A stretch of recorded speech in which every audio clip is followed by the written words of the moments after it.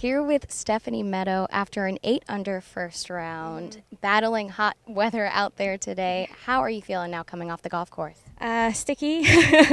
I'm pretty hot, um, but it was a great day. You know, I hit the ball really well, um, putted really nicely, so it's a great start putting really nicely to speak of five birdies in a mm-hmm. row in the beginning of your round. What was going hot for you right there?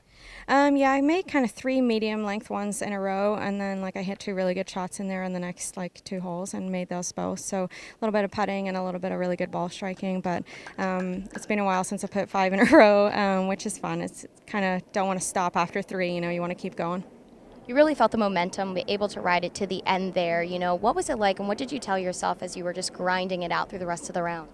Um, honestly, you know, I know I need a big week this week, so um, whatever I scored today didn't really matter. I'm just trying to get to the end goal. So um, I just told myself, you know, it doesn't really matter from seven under, eight under. You know, I'm going to have to shoot lower than that um, for a big week. So I think that made me kind of plow on more um, and not kind of forget about the fact that you know I was eight under par the nothing to lose mentality mm-hmm. is that something in your mind did you have that coming into this tournament um, yeah for sure i mean it's been a pretty tough year um, but i've been playing well the last few months so i just feel like if i can have a good week um, yeah, I mean, I have nothing to lose.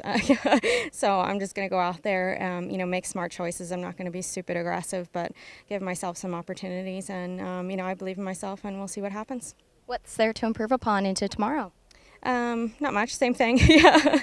Um, yeah, I'm going to go get some physio done and uh, just relax and make sure I get my rest in. And for tomorrow morning, it's an early start, so I'll be rested up. Well, congrats on a great round, Stephanie. Thank you.